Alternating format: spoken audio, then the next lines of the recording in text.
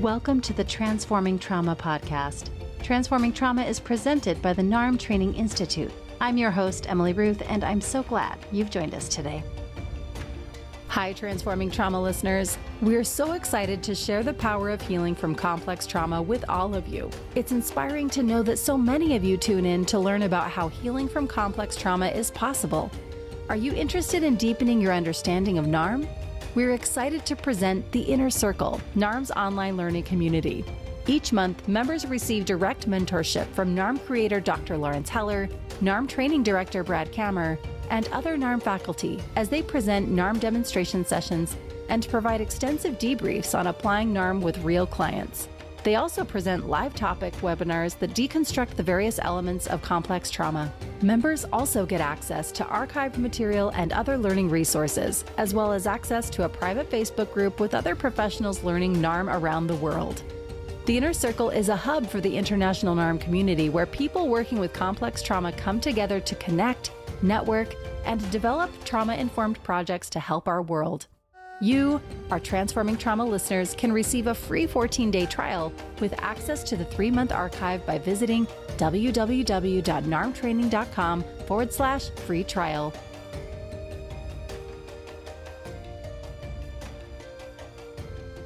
And now for our interview. Dr. Stephen Gilligan is a therapist, author, and teacher. After receiving his doctorate in psychology from Stanford University and motivated by his life experiences, he developed a new practice incorporating Ericksonian psychotherapy, Aikido, Buddhism, meditation, and the performance arts. His work focuses on the awakening of soul, drawing parallels from other traditions where this is seen as essential to the awakening of the human spirit. Dr. Stephen Gilligan lives in California, is married, and is a devoted student of Aikido. He is the author of several books in the field, as well as many papers on hypnosis, hypnotherapy, and the works of Erickson. Please enjoy this conversation with Dr. Stephen Gilligan. All right, I'm sitting here with Dr. Stephen Gilligan. Steve, thanks so much for coming on Transforming Trauma. You're welcome, Emily. Happy to be here. So, if you are okay with it, I'd love to start how we often start a NARM session, and that is really to ask you what is it that you would like listeners to get out of our conversation today? Well, you know, I am a psychologist. I'm trained as a psychologist. I think the sort of first generation of psychotherapy made a big mistake in terms of primarily emphasizing person's limitations and pathology. I think that psychotherapy is best situated through a focus on a person's resources and what it is that they want to do to move forward in their life. This, you know, gets a little bit complicated with trauma, with complex trauma, with PTSD. But I think nonetheless, that's the important thing. We're trying to use the conversation to help people open a creative path back into life and into a happy future.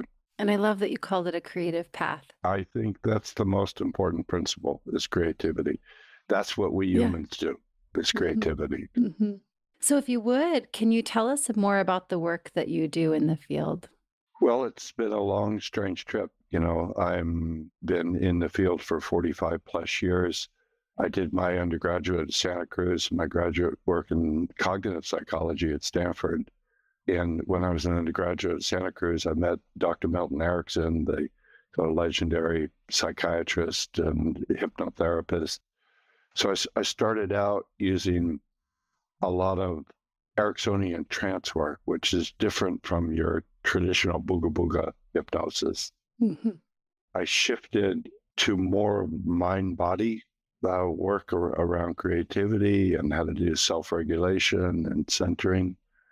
And so I don't think that I would describe my work in hypnotic terms now. I think it's sort of an irretrievable word in terms of the kind of negative connotations for both the public and professional audience, but really interested in connecting with the many, many different modalities of intelligence people have, again, to bring them all together so they can step out into the world and, and live a great life you have a really rich background. So you, you mentioned Milton Erickson. Can you tell us more about where you started? Well, my undergraduate at uh, UC Santa Cruz was actually in humanistic psychology, you know, so I was doing things like, you know, Carl Rogers and Virginia Satir. One of my teachers at Santa Cruz was Gregory Bateson, the sort of famous cybernetician anthropologist. He was a close colleague of Erickson. So when I met Erickson when I was 19, it was like, you know, the universe opened up and this sense of, how should I put it? I knew since I was a little boy that I was going to be a psychotherapist. And I always say you just have to take one look at my family and know that somebody had to volunteer for the job. And I had this image unconsciously of what does a responsible psychotherapist look like? What, you know, if you want to, something you want to do, what does it look like? Who's a model for that? And I think my model was this sort of American Freud, a, a white male, about 50 years old, looking kind of constipated with a beard and a pipe. And uh, it was sort of uncomfortable just to be in the presence of that image. But nonetheless, I thought, okay, this is reality. This is what you are supposed to be if you're going to grow up. And I met Erickson, and he was like this little Yoda. You know, a small guy. He, he he was colorblind, so by the time I met him in the last five years of his life, he wore only purple. He was paralyzed a good part of his life from polio, and his message was, "Your only hope is to be yourself. Your only hope is to realize that the way you know it, and the way you do it, and the way that you express it has never been seen in the world before. So, what's really important is to get to know yourself, no matter how strange you find it yourself or how different you may feel yourself. But it's the alignment with who you are that's what gives you creative power and happiness.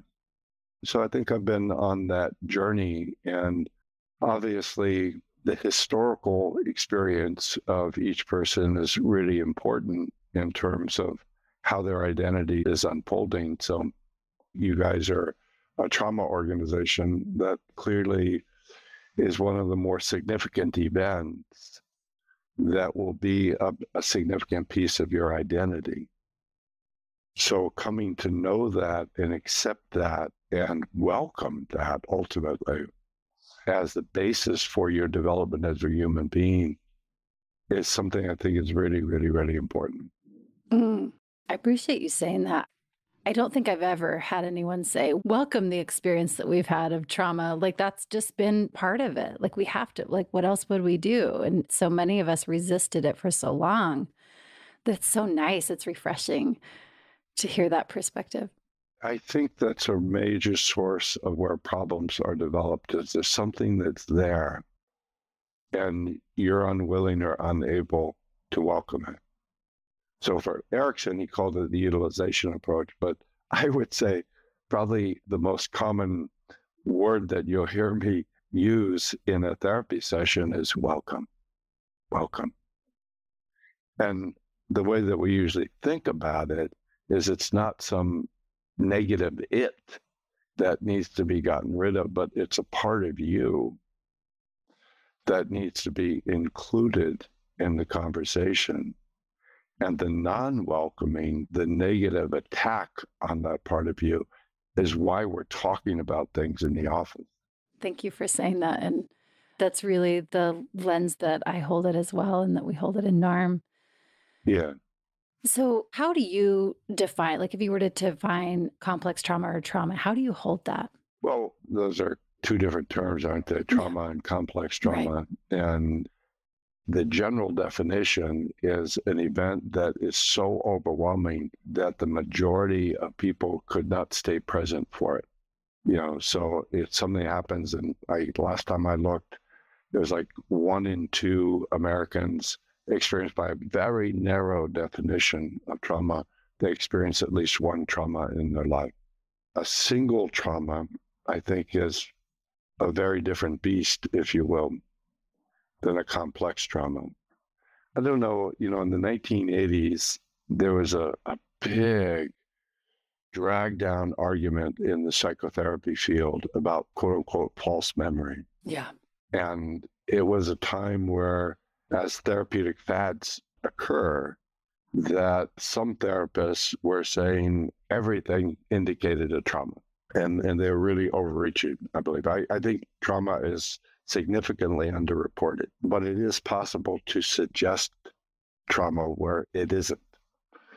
So there was this big battle about why, if somebody's traumatized, would they forget it and only remember it decades later?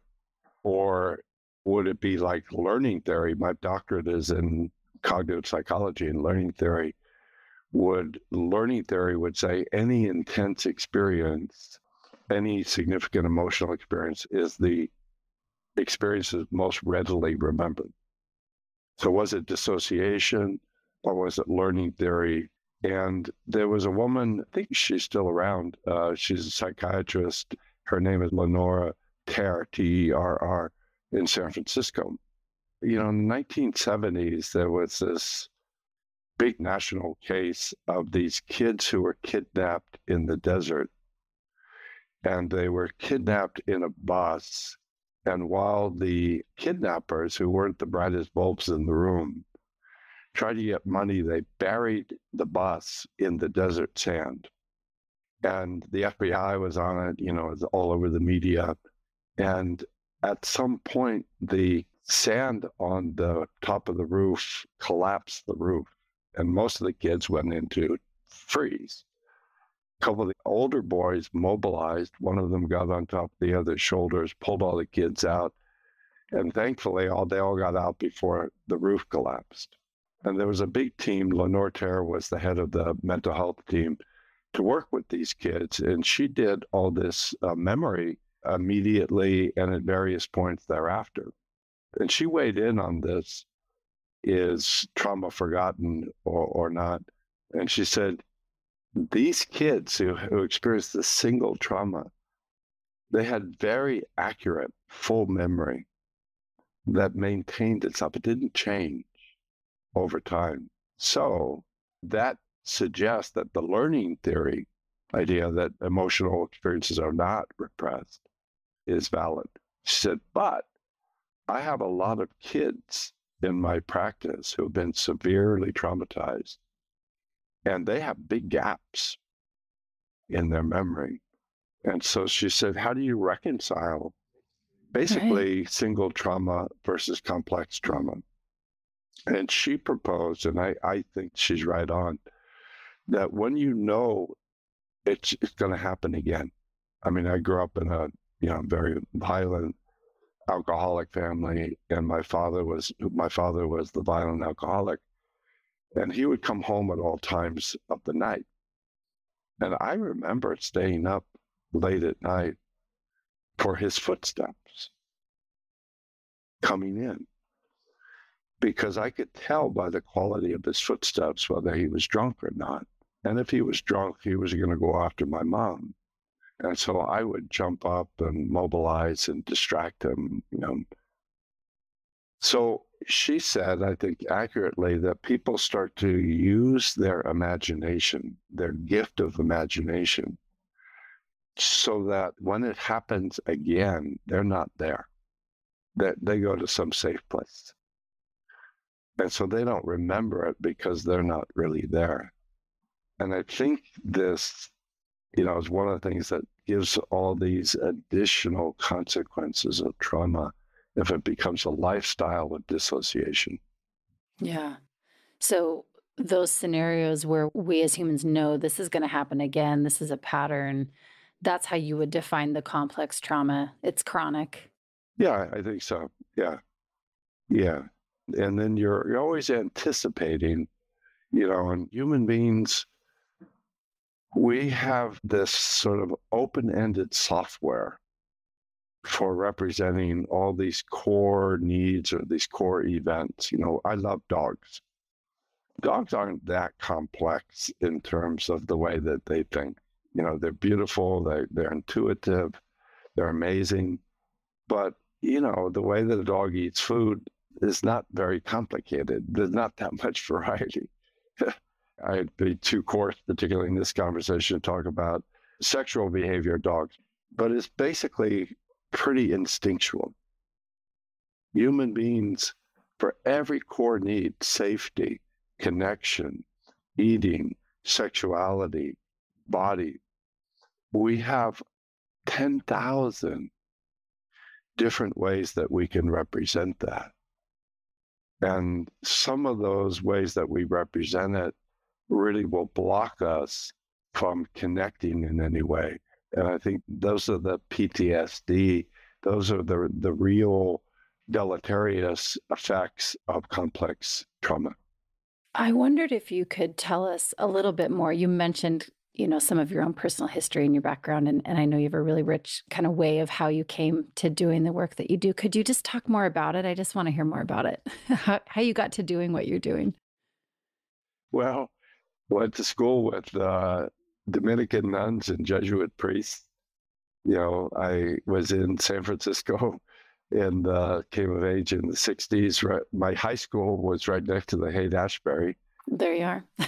so th- there was a lot going on, but I, I think I always really got into like, was totally tuned to ritual. I never liked reading the Bible or anything. My mom read it like two hours a day, the New, the New Testament. But I loved to be an altar boy. I loved the sort of community activities that there were these tra- what I later you know came to use as the language of trance-like events, and this attunement to non-rational states of being. So from I think my religious childhood into sex, drugs, rock and roll, you know, in late 60s, finding then I was you know, got into meditation, formally initiated when I was 14. I got into hypnosis as a major therapeutic modality at my early days of 19. So it seems to me when we're looking at the creative life or the, the sort of the basic life of human beings, this non rational, deeply experiential mode is the primary mode. And from that, you know, from a therapeutic point of view, one of the main d- distinctions is that primary preverbal mode is it positive or negative? Does it have this sense of openness to it where you can safely feel the flow of information energy through you and be curious about it? You know, I was mentioning before we came on that I have a five month old granddaughter who lives with me on the property. My daughter and son, uh, son-in-law live with us. And being with a five-month-old baby girl, especially when it's your granddaughter, it's like, wow, she's just in the flow, right? There's no trauma. There's no sort of ego mind that's there. She's in a very safe and secure place. That place is what will allow you to create positive, happy, healthy experiences. Things happen along the way. They're not all as severe as trauma, things like formal education, you know, where we're told paying attention means, you know, your, your body gets very stiff and you're just paying attention to trying to memorize things in your verbal brain. But we have so much emotional and social education that begins to shut down that what I would call your center or your core or your creative unconscious. And when that shut down, you can't really do very well creatively because that's your gateway into the universe. That's your gateway into the ancestors. That's your gateway into open creativity. So we call that a coach state, which is an acronym, it means it's centered, open, aware, connected, positively, hospitable, welcome to whatever shows up. And we see that as the base for learning, for therapeutic healing, and for transformation. The counterpart is what we would call a crash state, again, an acronym, which means constricted, reactive, into analysis paralysis. You know, what does it mean? What do I do? What does it mean? What do I do? Feeling separate and isolated, and feeling hurt or hurtful. So those are the states. And I, by the way, I, the the polyvagal work that's gotten popular in the last five years, I think it's one way to talk about those pre-verbal underlying unconscious states that we could say they're open or closed. And in that closed state, that crash state, I mean, you, you could see me, but if I, if I were to describe, my shoulders are up and my body's really tense and my face is scrunched. If I want to experience something positive and I'm in that somatic state, it's not going to be possible. I think we know that intuitively. So, one of the things that happens with PTSD in particular is people unavoidably go into this crash state. I always tell people this was an act of self love that you dissociated. Mm-hmm. It was an act of self love that you protected yourself. It worked great as a short term strategy. It sucks as a long term strategy. So, in that lockdown state, nothing really gets in or out. So you can't feel other people. You can't receive anything positive from the world. You can't let people see you. And if people, people don't feel you and people don't see you, you're going to have a really hard time finding your way in the world. So when we're working with people in therapy, it's really tough because you can't just say, oh, just relax, you know, the, the trauma's over. You know, it's so conditioned in there you have to work in this place where your somatic nonverbal music is really tuned and your way of supporting and acknowledging everything that's happening as a sign of intelligence. So person is shut down. That's great. So there's a presence inside of you when we begin to talk about this that really shuts down. I'm sure that makes sense. Welcome you have to be ready to duck because sometimes clients throw pillows at you. You know, if you're telling them that the thing that seems to be, you know, most blocking them is a resource, but that's really what we're saying. You know, every response you make is a resource. Every response that you make has organismic intelligence. The key thing is whether you, and originally in the first part of your life, it's others, whether they can receive that and give blessing to that or acknowledge that as something that has positive value.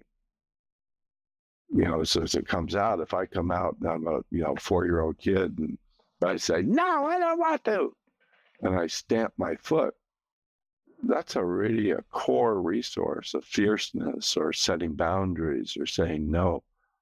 Every human being needs that at every point in their life. If when I say I don't want to, I get screamed at or yelled at or hit or ignored, then the social cognitive message that gets layered over that core resource is that part of you is bad. That part of you is not okay. Mm-hmm what you're saying is so aligned with how I'm thinking of it. And in NARM, we talk about it as like healthy protest.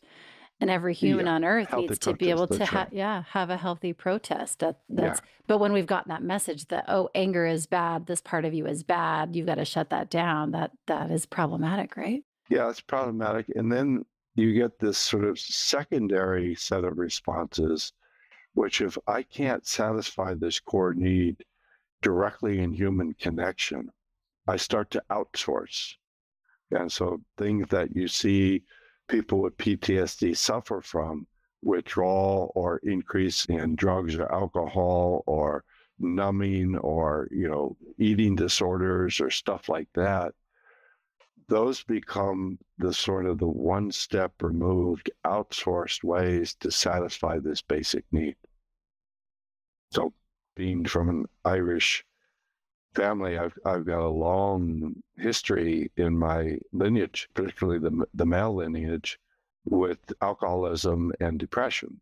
And I've done a lot of work on the necessity with it. And I can see that the alcohol was a way to create this feeling of gold warmth around my whole being, to just hold me with a pseudo feeling of love. Hmm. And everybody has that need. It's a universal need. But again, we humans can understand and express and satisfy a need in virtually an infinite number of ways. So if I can't get that need met directly, you know, to say I need a hug, for example, or I, I just need some support right now.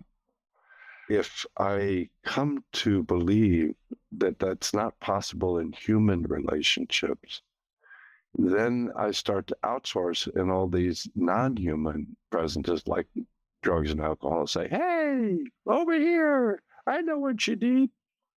And it becomes our way to try to satisfy that need. And if you're an addictive type, all of the value of addiction is front loaded.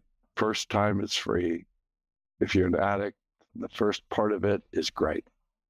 Like, oh man, I discovering when I do this, I feel safe, I feel warm, I feel good, I don't have anxiety. And then you have to realize you have to give a little piece of your soul every time you do the addiction. And so addiction is a pathological liar. It promises you fulfillment, it promises to bring you a sense of peace, but it, it never delivers. And so you think, oh, I just didn't do enough. So we have all those things that build up, I think, particularly again with complex PTSD, if we're coming back to trauma, all the ways that people have developed, they've had to cope with the inability to connect directly with other human beings. And those are really hard to let go of. You know, if I say to you, I mean, I, I was working with a Native American gentleman once. And he was about 40 years old. And he actually had been sober for the longest period of his life, which is five years. And he says, you know, as long as he could remember, he was out in the street in a gutter, drunk. And I said, Oh, I'm just wondering if you think you did anything different this time that seems to have increased, you know, your sobriety. And he thought, and he said, yeah. He said, I had to realize that the booze was really giving me something important. It was destroying everything, you know, the, the sort of things that you'll do in your addiction. Not pretty. But he said, I had to accept that the booze, that the drug, the addiction was giving me something very, very important. And if I didn't take care of that need and find an alternate way every day, I'll go back. And I talk about that a lot with clients. You know, that these really negative things that you may have done, they were your best ways to deal with something. They're always going to be there. You can't erase them. If you do relapse, it's a sign that those needs that are really important need to be satisfied. And if you don't do it for yourself, the addiction or the dissociation will do it for you. That's so powerful to think about it in that way because, again, yeah, so many of us have rejected that part of ourselves, rejected the need. And I'm hearing you say if you don't meet that need, the addiction will step in. Yeah. I think so. You know, we have this social fantasy that we all live normal lives. You know, you know, we know we know about ourselves that ninety percent of our thoughts are mm-hmm. illegal. We know that, you know, mm-hmm. but we're led to believe that everybody else has normal thoughts, right? And so when we have those, we feel we, we want to die or we want to kill somebody or we want to give up or, you know, all those many things that are particularly enhanced by these negative events. It's denying them that blocks us from integrating them and blocks us from having a respectful, curious human relationship, which is the necessary condition for something to become a human resource. So, again, I mean, I teach in China a lot, and one of my teaching assistants is this beautiful woman. Her name is Lamu, and she is the Tai Chi sword champion of China. She's amazing. Wow. I've seen her give many demonstrations. Wow. I said, Lamu, how did you get into swords? She said, Well, it's kind of interesting. I was 10, about 10, and I was in a lot of trouble in school. And I was just like beating up all the kids, especially the boys. And it was a big problem. And I got called into the principal's office. And then he called my dad in and he said, You know, your daughter is doing all this socially delinquent behavior. We have to kick her out. And dad said, Okay, I know what she's doing is unacceptable. It's not okay that she's beating kids up. But let me think about it. And he thought, the force in this one is strong. Yeah, that, that this kid has got really good fighter warrior energy. So he looked into it and he found, you may know, the kind of legendary temple in China, the Shaolin Temple. It's a martial arts temple. And he found that they have a kids program associated with it. He got permission for his daughter to go there. And he said to Lamu, I found this program. You want to go? She said, Yes. They took the train down they walked around. It's pretty hardcore, not not a lot of frills. And his dad got a little bit unsettled, and he said, Lamu, you don't have to go here. We can go back home." And Lamu said, "Dad, you told me I could come. I'm staying," and she did for four years. So every day for four years, she got up at four in the morning and did five hours of martial arts, and then did her regular schoolwork and so forth. And she's she's an amazing person. So that beating other kids up, we say, is a not fully humanized core resource. We need this human relational space, and psychotherapy conversations are a good one to be able to welcome these parts that are really strong in the person. I want to withdraw. I want to hurt myself. I want to you know, act out and I'm taking out on my kids. If we want to change those, we need to respect them and welcome them and bring them into a conversation that has a sufficient container that they're also not held rigidly so they can change. It's sort of like they're in a shimmering state, which is to me what trance is for. And then the way that we're representing our ability to be fierce, our ability to say no, our ability to have boundaries can transform into a, a, positive version. I think that's a big part of what we're doing. There's so many parts of what you're saying that are jumping out at me this welcome theme, this, what did you say, that to contain it without holding it too rigidly, how vital that is? Yeah. And probably the more important than the verbal conversation is the nonverbal space in which it's occurring. We know that with our pets, you know, we know that with our kids, mm-hmm. you know, certainly when, you know, if you hold my granddaughter, everybody will realize that, oh, hey, how are you? They realize that mammals feel relationships what the poet Rumi called the touch of spirit on the body. And when we're in a problem state, or particularly when we're suffering the consequences of trauma, our body has been negatively assaulted in a very violent way. And so we've shut down. And to release, relax the body, it's really quite a challenge. I mean, it's a skill. It's partly, you know, one of the reasons we we have to have so much training to get paid for it. You know, it's a real skill. But the first skill is finding in yourself as the therapist the centered, open, resonant play that then you can be able to touch client in that sort of centered, resonant way. You've got these two sides. If a person feels that you are entering inside of them and doesn't feel safe, they'll shut down. If they don't feel you, they'll never open up. So it's a very delicate balance. And I think that's what opens the container. And that's what opens that resonant space in which images that have been locked can loosen up and, and start to change. Safety looks like this, anger looks like this, intimacy looks like this. So we need a safe container where the images are held not too tight, not too loose.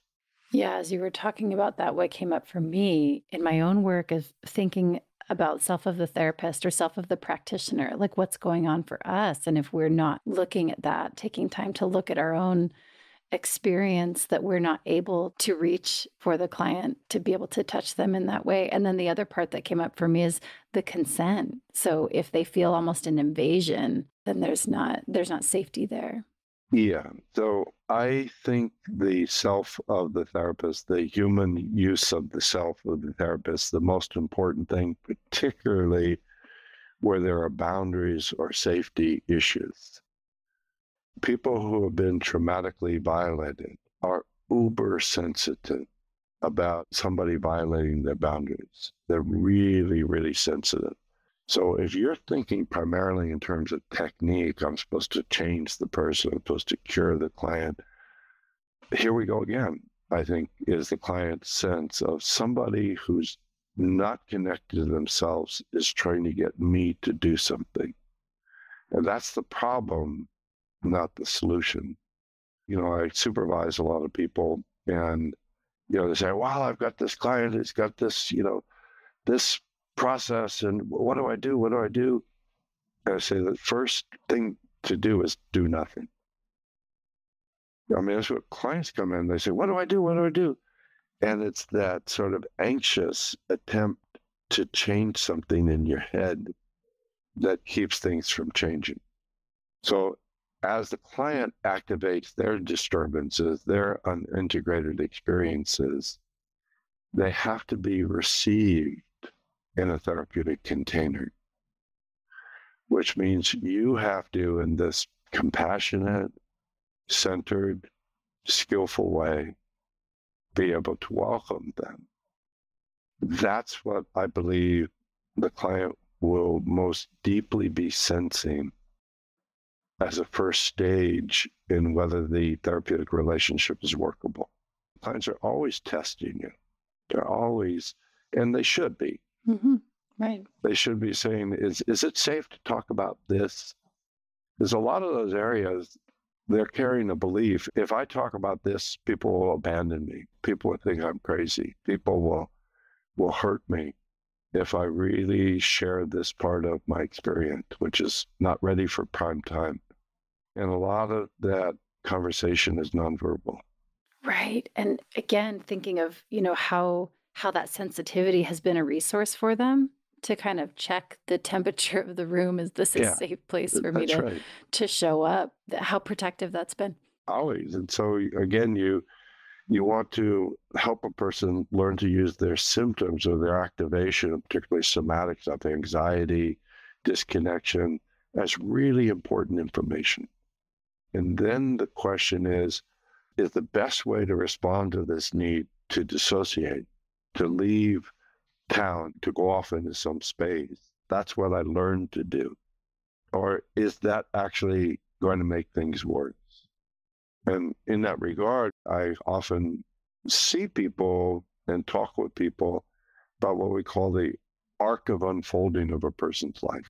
So, the mythologist Joseph Campbell's model of what he called the hero's journey, there's kind of a short version of three steps. I was in the garden. I was innocent. I was like, hi. You know, my five year old granddaughter is in the garden. Yeah. And then part of the poignant tragedy of each human life is something happens and you have to exile into the desert. And trauma is, you know, one of the most severe things. And so you don't have the resources to stay present. That's what I say When people originally dissociated, that was the best thing they could have done. But what's really amazing is to interview clients and begin to develop this sense that since the time they had to dissociate, part of them, you know, had to shut down and, and, and go downstairs and into the dark. But another part of them has gone forward in their life and has developed so many interesting resources, you know, different relationships, different skills, different self management capacities. And I believe after 45 years of working with people that the dissociation starts to break down precisely at the places where people don't need it anymore, where they have the resources that they need in order to integrate and to be able to stay present. They don't know it because as soon as the trigger point activates, they regress. And I don't mean by that you say, well, come on, just stay present. You can handle this now. It's a delicate conversation to help people learn a lot has happened since they had to dissociate. A lot. And one other point on that, you know, I learned in doing hypnotic work with trauma people that there's a traditional process in hypnotherapy of age regression, which is go back into your childhood. And I found that was that's probably the worst thing that you can do with trauma survivors. You're asking right. me to go back in the most painful parts of my life? No. So, what we look to do is develop and open these resources in the present to your present age, to your present competency. And when you have a mind body state where you can feel comfortable in doing that, and that takes some work, then we ask the material that needs to be integrated to come forward in time and to move from the context where there was no resources and a lot of violent uh, perpetrators come forward into the present self that a person has worked hard to develop so that when the trauma comes into that place, it can be greeted in an intelligent, skillful, positive way. It can be welcomed. It can be welcomed. That's right. Mm, I'm so appreciating what you're saying. And I, I kind of wish we had, you know, another hour together. I, I have one more question I would love to ask if it's okay. Sure. Do you have any kind of experiences or specific stories that can kind of illustrate what you're describing for us? I would I would love to hear if you do. Sure. When you said that, I, I was thinking of um, when it came to see me, she's about 50 years old, very successful. She did all these women's empowerment groups and she was really successful. She loved the work. She said, I'm so happy, you know, with my professional life, but I don't have one personal relationship in my life. You know, not not even a casual, you know, let let's go out to coffee. And she said, I, I, want one. I feel like I'm at a place where I need one and I want one. I said, okay, great. And so, you know, settled down the conversation and just asked her gently, do you think this has to do with anything? You know, and it's just a general question. She said, yeah. She told a very heart wrenching story about how her parents were in a sex ring uh, with a fellow pedophile. And they would rotate homes and they would bring children into the circle, have them disrobe and, and do, you know, unspeakable things. And she and her brother were subject to this for some years. So just sort of hanging with that to just feel compassionately feel the pain of that and to sit with it.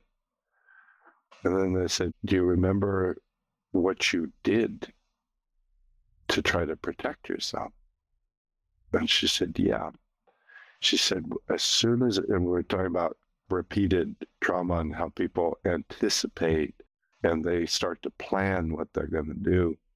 She said, As soon as I would go into something like that, I would put up in my mind a black wall.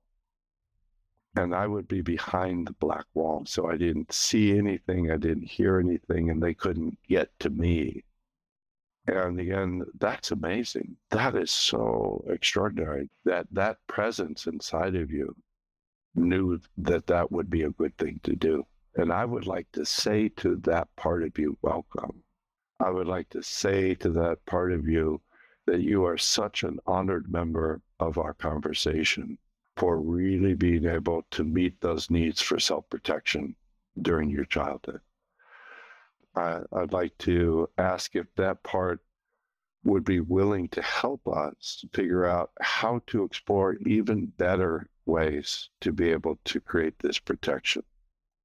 Fast forwarding, had her in this state, imagine a black wall in front of her and intentionally create the black wall so that she takes over, that she's in charge of the black wall. Mm.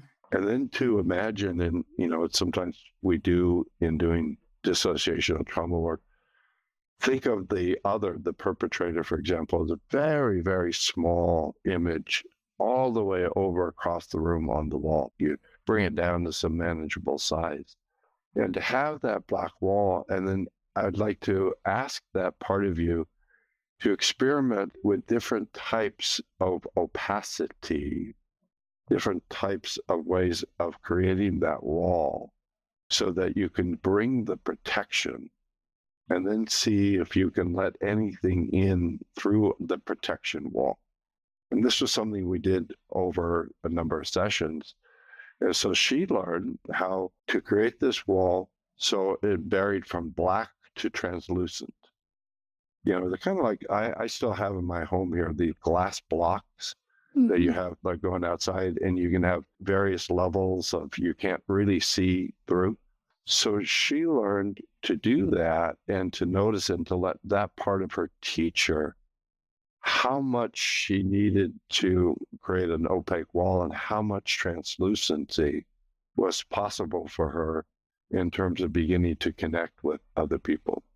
Once we had that, then we started adding which other people might you want to connect with and to use her state as a sort of a guide of how much, how long can we do this for? Because you can do it as long as your organism stays open. Soon as your organism closed, great. Thank you so much for teaching me. Mm-hmm. That's enough. That's enough. Mm-hmm. That's enough. Mm-hmm. So honoring that boundary. Yeah. So that, you know, she would say that black wall or that inability to have social relationship as a adult was sort of using that resource that she created as a child in a severe trauma situation. And then she joins it and welcomes it and learns to modulate it. And as Erickson used to say, to meet the needs and the competencies of your present self. Mm. That's so beautifully adaptive. And I'm just kind of holding, you know, how that was like such a collaborative experience to to kind of collaborate with that part of her that needed to protect and so beautifully, you know, adapted to yeah.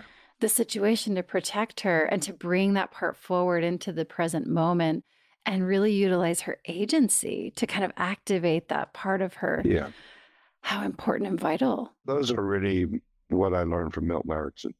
This collaborative sense that, just from a point of view, if you want any sort of sustainable therapeutic change, probably the majority of language and images has to come from the client.